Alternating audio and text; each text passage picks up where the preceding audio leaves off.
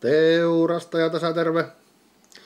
Kävin tuossa PGllä ja täällä laatikossa on harvinaista herkkua.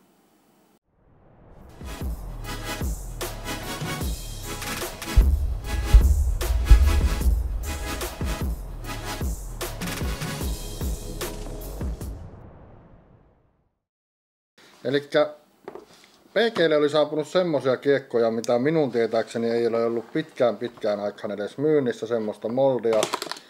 Ja jos minä oikein ymmärsin, niin he on, oli saanut semmoisen erikoiserään tuolta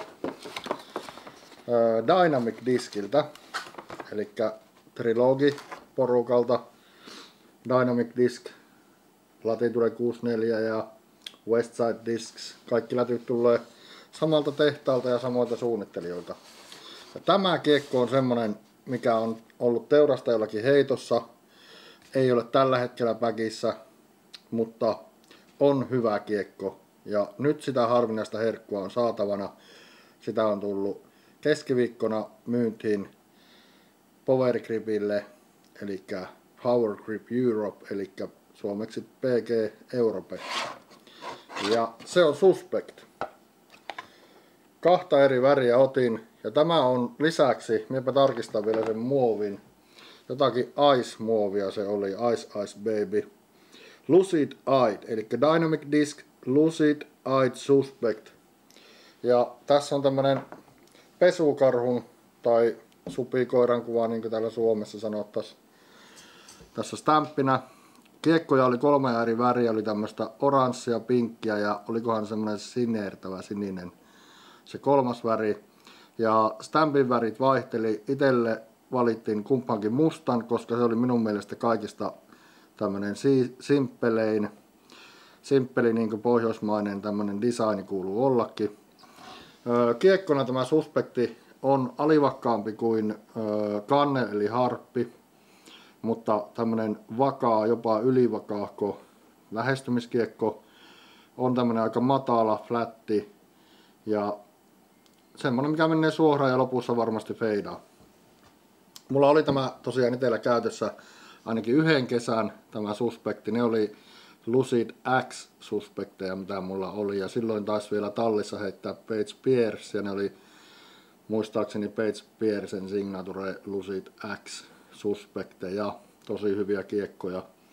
Tämä Ice-muovi on ilmeisesti pikkusen ehkä pehmyempää ja tämmöistä varmuudella läpinäkyvää. Muuta en osaa sitä sanoa, mulla ei hirveästi ole heittokokemusta ensinnäkään näistä keikoista, kun mä just paketista vetasin. Mutta ei myöskään sitä Lucid Ice muovista sinällänsä, en muista olisinko sitä heittänyt missään vaiheessa. Mutta tuota, näitä olisi nyt PGllä, jos tarvit semmoista vakaata lähestymiskiekkoa, mikä on kuitenkin vähän alivakkaampi kuin harppi eli kannel tai mintti tai zone tai kaikkia näitä mitä näitä ikinä onkin, niin tässä on sulle hyvä vaihtoehto. On matala profiili, eli sopii niin semmoiselle lyhytsormisemmallekin henkilölle, niin teurastajalle. Tässä on tämmöinen piidi, jos piidi ei haittaa, niin sekin löytyy tästä kiekosta. Ja heittoarvot tässä oli, jos en sanonut, niin 4, 3, 0 ja 3.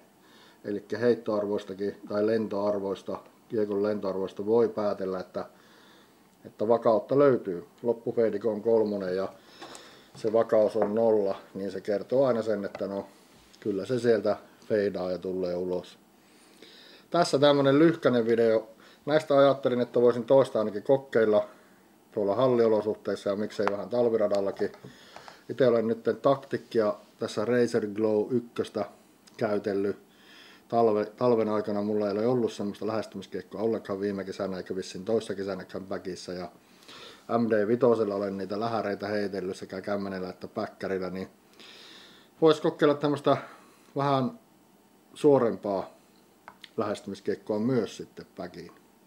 Lähestymiskeikoissa on se hyvä puoli, että kun ne on vakaita, niin ne ei niin liida vahingossa liian pitkälle eikä flippaa yli niin niillä saa sen lähestymisen vain kerta kaikkiaan suoritettua tarkemmin.